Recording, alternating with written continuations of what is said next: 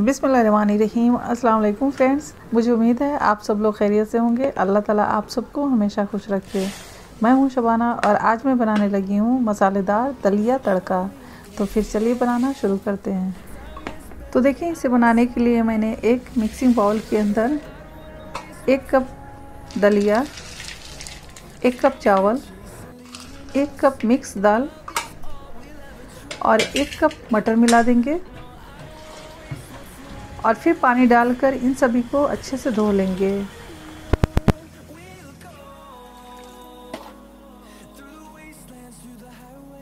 और अब इसके लिए एक बाउल के अंदर वन टेबल स्पून हल्दी powder one tablespoon red chilli powder one tablespoon धनिया पाउडर और half tablespoon garam masala powder two tablespoon ginger garlic paste और नमक टेस्ट के अकॉर्डिंग शामिल करेंगे।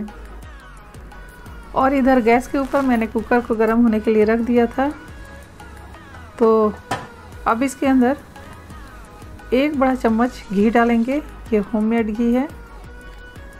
और अब जो मसाले हमने मेंशन किए थे, उसके अंदर थोड़ा सा पानी डालकर इसे मिक्स करेंगे और फिर कुकर के अंदर डाल देंगे। और अब इसे अच्छे से भून लेंगे, करीबन दो से तीन मिनट तक। तो देखिए, मसालों को तीन मिनट भुनने के बाद इसका ऑयल सेपरेट होने लगा है। तो इस टाइम पर धुले हुए दाल और दलिया, मटर वगैरह शामिल करेंगे। इसे अच्छे से मिक्स करेंगे और इसका डबल पानी डाल देंगे। तो ये सारी चीज़ें चार कप हैं तो हमें आठ कप के करीब पानी डालना होगा।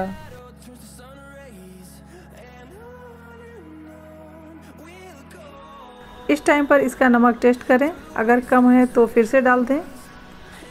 और कुकर का लीड अंदर से बंद करेंगे और हाई फ्लेम पर इसे दो विसिल आने तक कुक करेंगे।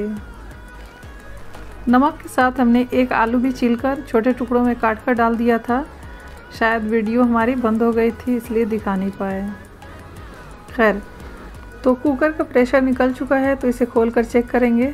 तो देखें, माशाल्लाह, बहुत अच्छी खुशबू आ रही है।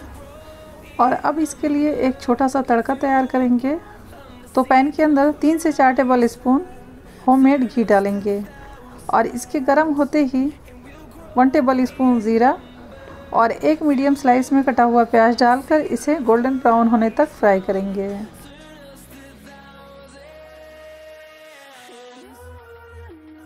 तो हाफ़ तड़के को खिचड़ी के अंदर डाल देंगे और थोड़ा सा बचा लेंगे इसकी गार्निशिंग के लिए। कटा हुआ हरा धनिया डालकर इसे एक सर्विंग प्लेट में निकाल लेंगे। माशाल्लाह, ये बहुत ही ज़बरदस्त टेस्टी और हेल्दी रेसिपी है।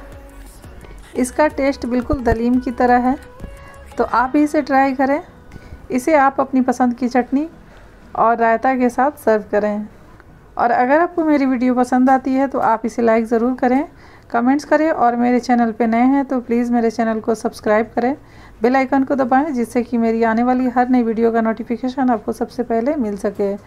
वीडियो देखने के लिए आप सभी लोगों का बहुत बहुत शुक्रिया। अल्लाह हाफिज़।